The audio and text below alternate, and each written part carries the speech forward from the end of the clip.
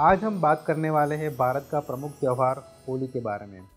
भारतवर्ष के अंदर दिवाली के पश्चात होली का त्यौहार मुख्य रूप से धूमधाम से मनाया जाता है। और रंगों वाली होली मनाते के समय आपको कौन से रंगों का उपयोग करना है जिसके चलते ये होली का जो आपका फेस्टिवल है, आपके लिए काफ़ी फलदायी सिद्ध होगा। तो मैं राशि विशेष के अनुसार रंगों का नाम बताने जा रहा हूँ। यदि आप होली के त्यौहार के दौरान उस रंगों का प्रयोग होली खेलने में करते हो तो आपके लिए काफ़ी फ़ायदेमंद सिद्ध हो सकता है। मेन राशि वाले जातक जो है, वो सुनहरे रंग से, पीले रंग से, लाल रंग से, पीले रंग से यदि होली खेलते हैं तो उनके लिए काफ़ी फ़ायदेमंद सिद्ध हो सकता है। दोस्तों, रंगों वाली होली खेलते समय हमें पानी का ही विशेष प्रयोग करना चाहिए। यदि आप रंगों का प्रयोग कर कर रहे हो तो नैसर्गिक कलर का अधिक मात्रा में प्रयोग करिए।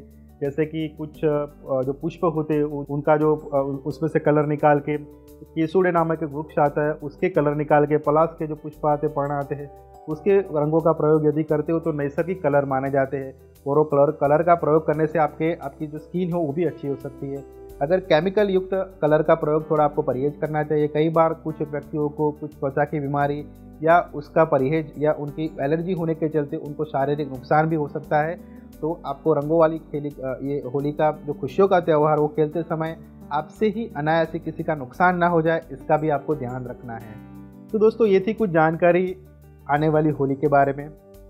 आशा करता हूँ ये जानकारी आपको पसंद आएगी और आने वाली होली आपके जीवन में सुख समृद्धि धन धान्य और सफलता लेके आए, ऐसी मेरी ओर से आप सभी दर्शकों को हार्दिक शुभकामनाएँ। नमस्कार।